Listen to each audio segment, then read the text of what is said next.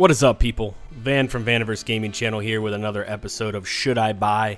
Today's game we're talking about is Ash of God's Creation. This game is on Steam right now, but you can also buy it through Xsolla Partners, which I partnered with. If you buy it on Steam, there's going to be a link in the description. Do that if it's on sale. If it's not on sale, if you could buy it through the other link and I get a little bit of the proceeds to help my channel, I would greatly appreciate it. So, what is Ash of God's Redemption?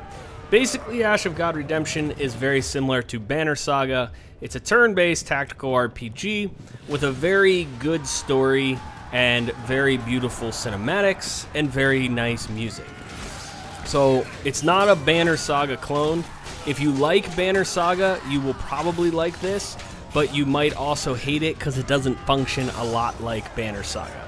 But the basic story behind this game is there are these gods that are basically killing off everyone, and there is a group of these demigods who you see here. And if they can sacrifice themselves, then they will kill these other gods, and the world will be saved from this terrible blight. However, in this fight, one of the demigods actually doesn't die. They end up to push off the blight, but at the same time, this one guy is still alive. So the story of Ash of God's creation is you see this other blight coming, and you're going to have to try and figure out why, where it is, when is it coming. So very interesting game. The art style is is amazing in my opinion. I like the music. I feel like the combat is where people have the biggest issue with this game, which we'll talk about here in a little bit. So, with that being said, let's get into making a character, the whole thing. So, when you first start the game out, you can pick between three different modes. You can pick story mode, you can pick classic mode, and you can pick Iron Man mode. So, basically, obviously, if you've played many games. Classic mode is the standard. Iron mode is if you want to have a tough time, and story mode is if you want everything is to be easy and you just want to listen to the story. So the combat in this game is very similar to the combat and Banner Sagas. There's a couple differences in this. You can equip items like you can in Banner Sagas, but this game has this card deck that you can utilize that's like a global ability. You can have five in your deck at one time and basically, depending on what level you are, I'm sorry, what turn it is, is what card you can use. So every turn, you'll go turn one, turn two, turn three, turn four. And so a turn consists of everybody taking their turn. So every character on the board has to take their turn on your team for that turn to be over. So you can see right now, everyone's squares are light blue and light red. Soon as I use my ability, then basically what will happen is my square will turn dark blue and my turn is over. I can't use the character again until every character on my team goes once. So I have two right now. So if I use the first one and then I use the second one, so this is uh, the guy and his daughter. So if I attack with him, his turn is over. But I can't use him again until I attack with his daughter and her turn is over. And the same applies to the enemy. So you'll also notice that there are red and yellow bars. The red is the health, the yellow is stamina, and similar, I believe, Banner Saga operates this way. As soon as you take down their yellow stamina bar, they take twice as much damage to health, but sometimes it's easier just to crank away their health than it is to crank away their stamina. Every class has its own abilities, etc. So, also similar to Banner Saga, you will build your your group of followers. You have different classes that have different abilities. Um, you have archers, you have tank guys with shields and swords, you have, you know, two-handed wielders, you have dual wielders, you have rogues, you have guys with spears. So very similar where you build out your party. And obviously you want to stick with a group of your party that's your main group because they level up. And as they level up, their skills get better etc. So that's pretty much how the combat works. Um, when you do finish someone off, you buff. There's certain um, passive abilities that buff everybody's damage or buffs their armor or their stamina, etc. Um, but it's pretty simple. You can see the blue on here too. This is the movement. That's how far you can move without having to waste your stamina. If you move to the yellow, you end up wasting some of your stamina bar, which can be uh, detrimental. Your stamina bar is how you do a lot of your abilities. Once you run out of stamina, you can't really do a lot of your better abilities, so it's also good to maintain stamina as well as take away somebody else's stamina. So, pretty pretty basic, but this is I think the part of the game that people have the most problem with is the actual combat. People do not like that your entire team has to, everyone has to take a turn once before anyone else can take a turn. Um, and people just think the combat is boring. Now, I can tell you when you first start the game and you don't know a lot about it, the combat's actually quite difficult. You'll lose a lot of these battles, but once you understand the mechanics and how it works, and you get a little bit higher level, then you start to realize how easy the combat becomes and I think that's the reason why a lot of people have with this with this game. So that's the combat. So now let's get into let's talk about a little bit about the story and how that works in this game. All right, so the story is broken into three different sets of characters. The first set is going to be Thorin and his daughter Gleda. Basically, they come home to find that Gleda's mother and Thorin's wife has been murdered, and that the person who murdered her was taken over by something that made them kill her, and that is what's going on through the town. The bells are ringing, people are going mad, and people are killing and attacking other people. So they've decided that it's time for them to leave, and they're going to pack up their things and they're going to head out of town. They were given something from a merchant who they think is a little bit on the shady side. He was able to get out of town, so they think he knows something, and they're going to be on their way to go figure out where he went and what's going on. On the way out, you guys come across a group of other guards that are in there in the town and they decide to join your party and to travel with you along to the next area.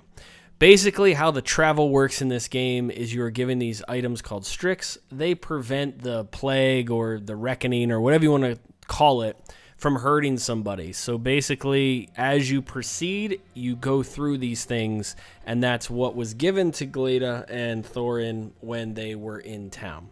So this is the first party that you're going to do, and then you're going to fight them along the way. Now, the game is broken up into different chapters, and kind of each character is involved in each chapter. So this is Thorin's chapter with Gleda and his group of characters. The second part of the story actually follows a guy named Lo Pheng. Lo Pheng is a shadow warrior from the Shadow Warrior clan. He's supposed to have no emotion. He was raised from a child to just be this this killer and basically he's at this gigantic area where there's a king and they're ready to start a war and all of a sudden he gets attacked by these creatures. And so he decides to instead of doing what he's supposed to do based on his shadow clan upbringing whatever you want to say he decides to help a gal that is about ready to be hung. She has red hair you can see her in the bottom right hand corner. And so this story goes he's basically heading to figure out what's happening, and he's taking this group of, of slave gals with him that he frees on the journey. Now, Lo Pheng is probably one of the most fun characters to play. He's probably one of the most overpowered, where Thorin and his daughter don't seem to be. Um, and you can see this fight starts off solo, and with some of his abilities that he has, it's actually quite tough to do this fight solo. But once you figure out how it works, then you can do it quite well. Like, so how I'm going in between these guys and boom, boom, and kind of stabbing them. And some of the abilities that he has actually regens his health and regens his stamina. So it, it's very much so based on how you position and all that. And I think that's why people get upset with the combat towards towards the end of the game is that you start to realize all I have to do is stay away from everyone until their turns are over, and then once their turn is over, then I can just attack them. See, like these two, they can't attack me because their turn's over, and I can keep on attacking because I'm by myself. So little things like that. But so Lo Pheng, he's coming from the eastern area. He's got a group of people that he picks up He's a kind of no BS kind of guy. He kills who he wants to kill as long as it benefits him, and he has no compassion for anybody else. But he intertwines with the story because of this girl Reek that he picks up from the uh, from the slaves here that are about to be executed. So the third and final character you play in the story is a guy named Hopper. So Hopper is one of those ex demigods who was in the beginning battle that prevented the last big blight coming, and he lived and everyone else died. But he's been pretending to be human ever since that battle, and he's turned into this scribe and scholar, and nobody really knows that he's this this god and he can fight and do all the things he can do. But he starts to see he goes to talk to an old friend and she's a seer and she tells him that she feels that the blight is coming again and that it, the plague is going to be hitting everybody and that you need to do something about it kind of. So he's curious and he wants to figure out what's going on. Now because he's a demigod he is one of the only ones that he feels can end up um, stopping this from happening but he doesn't really know what's going on along his journey, he gets cursed and his one arm, and basically his curse continues to grow as the game progresses. Eventually, you're going to be losing stats the more that you take in the curse. However, if you try and fend off the curse, then it's going to increase the reaping, which makes everything that you're going to fight throughout the game more difficult to beat. So it's almost worth your time to bring in the curse and not fight it. Now, Hopper levels extremely quickly, and he's probably one of the easiest characters to play because he has a lot of abilities where he doesn't have to even get near anybody to finish them off. So that is the third and final character involved in this in this group of story. So now let's kind of give you my opinion of what's great about it what's bad, why, and then we'll tell you if we feel you should buy this game at the price point or at a discounted price. Okay, so let's talk about the negatives of this game the things that I don't like about the game, and then we'll end it with the things I do like, and then I'll give you my opinion of the game as a whole and whether you should buy it or not. So, some of the cons about this game, there's not many. I feel like the game is pretty darn good for what you get. But the biggest and most annoying part of the whole game is there is zero voice acting when the characters are talking to each other within the game. So when you get to a scene and it has them both talking back and forth, all they do is grunt and make these weird noises and then it's just silence. So you're reading the whole thing and choosing what you want. If they would have put voice acting in this game, it would have been huge. I feel like the game would have done better when it first came out, and I feel like more people would be playing it with that. I, I, I that is probably the hardest part for me to get into a game when there's no voice talking. It's hard for you to get into a story, so that really takes it away from me uh, in getting into the story and playing the game. The second thing I would say is the combat. The combat in this game feels slow. It feels boring. I don't know why. It just feels much more boring and slow than Banner Saga was. If it just because of the turn bases and everything, it just feels like the fight is slower than it has to be. Um, there's no like gratifying like big hits. Um, I don't know. I just feel like even with the card system and everything, the game just the combat is not nearly as fun as it needs to be. And I think that's what's going to take away from this game next to the not having voice acting. I feel people are going to play the combat, they're going to be very bored with it because it's so slow slow paced that that's what's going to make them say, "Ah, this game's not for me."